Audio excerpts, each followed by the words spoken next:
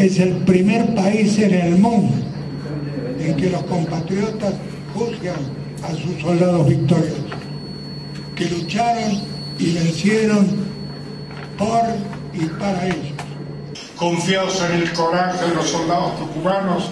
y el apoyo de sus pobladores, cansados de vivir y sufrir los miedos, terror y muerte que generaban estas bandas de delincuentes terroristas que utilizaban el monte como guarida y seguridad después de la ejecución de sus delitos terroristas. diferenciado dentro del ser argentino, del ser nacional, que debía ser exterminado porque no este, entraban o no encajaban en el marco o en el modelo del hombre argentino que pretendía el ejército o las Fuerzas Armadas este, implementar en este país de la misma ma- manera que pasó en Alemania nazi, ¿no? Hoy se da una paradoja grotesca. Los terroristas marxistas que conducidos desde el extranjero asaltaron la República en la década del 60 y 70 porque no creían en nuestras instituciones democráticas y querían cambiarlas por grises organizaciones marxistas En estos momentos estoy representando específicamente a la familia del médico Carlos Romana Pasa, eh, un médico que comenzaba a especializarse en psiquiatría. Quiero justicia, justicia, eso quiero yo. Nada más porque ya el, el hijo se, no, ya para qué vamos a seguir hablando, ya eso ya, ya está perdido él, no hay caso. Y pido castigo para el, para el responsable de esto, sí, justicia, eso, nada más. Dice la Constitución Nacional, debe juzgarse nuestra actuación en la guerra contrarrevolucionaria y no por ninguna otra. Finalmente, por esa ley yo, como comandante, soy el único responsable de la actuación de mis tropas.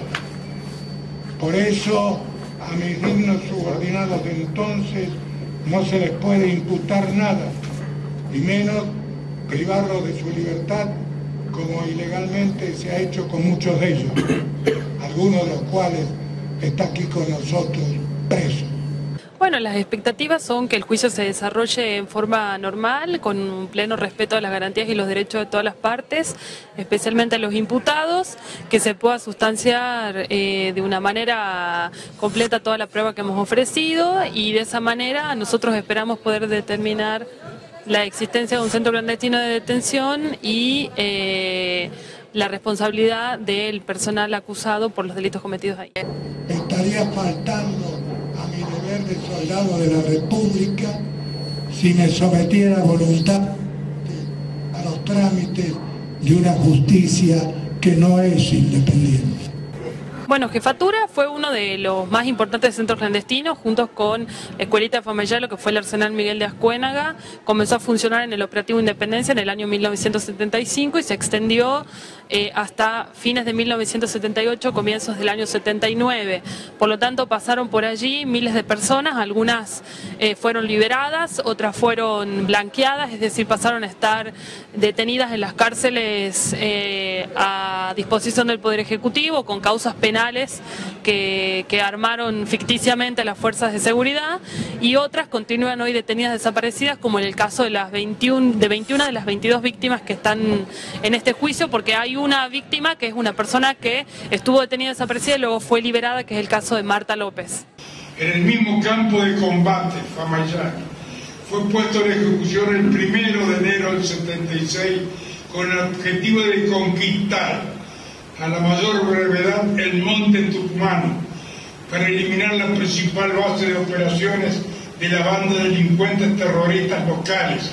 nacionales y eventualmente extranjeras, células, asesores, mercenarios. una causa compleja, con muchos testigos y otras pruebas. Esperamos que eh, diariamente el cronograma que fijó el tribunal se desarrolle normalmente y como expectativa en representación de las víctimas y de la Secretaría de Derechos Humanos es que se apliquen el máximo de las penas, eh, prisión perpetua, eh, en el caso de la jerarquía, veremos el grado, si se puede romper el pacto de silencio por lo que es la cadena de mandos e imputar también el máximo de las penas por asociación ilícita en, eh, en policías que usurpaban viviendas.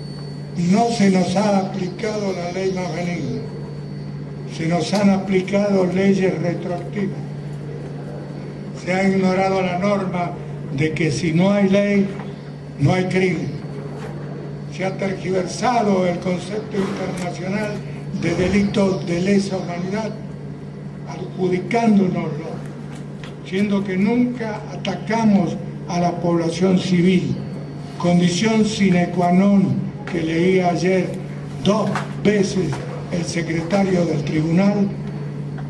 para definir un delito de lesa humanidad que esté dirigido contra población civil. Ahora eh, representás una uno de los casos más importantes que es la desaparición del periodista Eduardo Ramos y su esposa Alicia Cerrota. Eh, ¿Qué significa este caso para Tucumán? Un caso muy importante, sobre todo referido a la censura de prensa que implementó el terrorismo de Estado